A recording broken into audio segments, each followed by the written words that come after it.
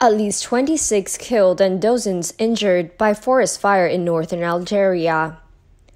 At least 26 people have died and dozens of others have been injured in forest fire that range 14 districts of northern Algeria, the Interior Ministry said on Wednesday. Kamel Bayoud told state television that 24 people had been killed in fires in El Tarf near the border with Tunisia in addition to two others who died earlier in Sétif. The Civil Protections Agency in Sétif said that two women, a 58 years old mother and her 31 years old daughter, were killed in the town. In Souk Ahras, farther to the east, people were seen fleeing their homes as fire spread before firefighting helicopters were deployed. An earlier toll said four people in Souk Ahras suffered burn and 41 other had breathing difficulties, the authorities said. Media reports said 350 residents had been evacuated.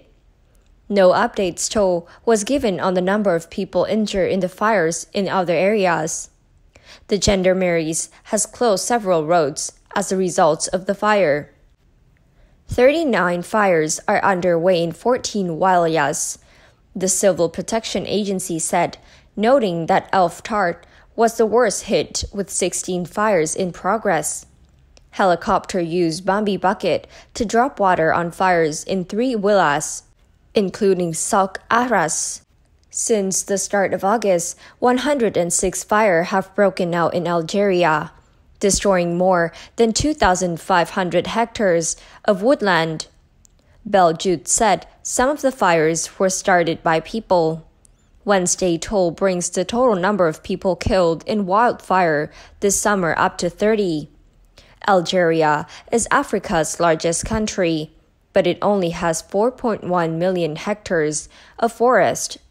Each year, the north of the country is affected by forest fire, a problem that has worsened because of climate crisis. Last year, at least 90 people died in forest fire that ranged northern Algeria, destroying more than 100,000 hectares of woodlands. That's all for today. Thank you and goodbye.